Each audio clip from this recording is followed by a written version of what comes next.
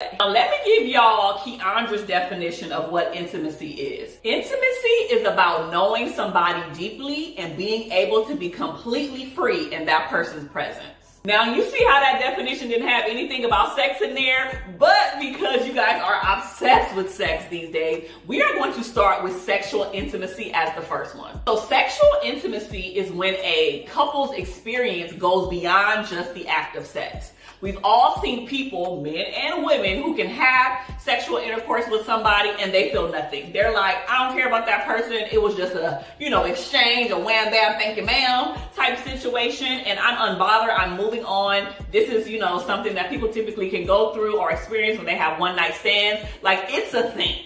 But when you are partnered and you are booed up, you're not trying to do that. You're trying to have an intimate connection with your partner at all times. So here's a tip that I want to give you to help improve your sexual intimacy with your partner. I want you to intentionally, I want you to intentionally engage in some form of sexual contact on a weekday with your partner.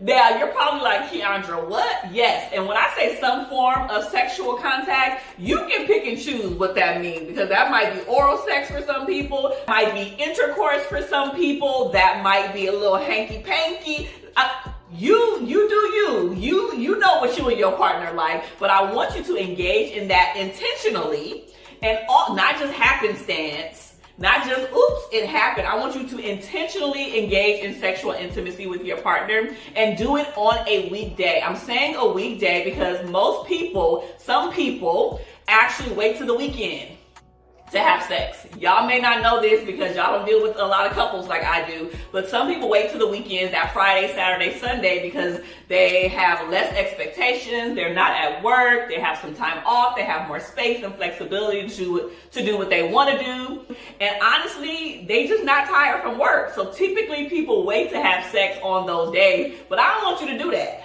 I want you to have a weekday situation, a little Monday, Tuesday, Wednesday, Thursday, Friday razzle dazzle. This is what I need for y'all to do.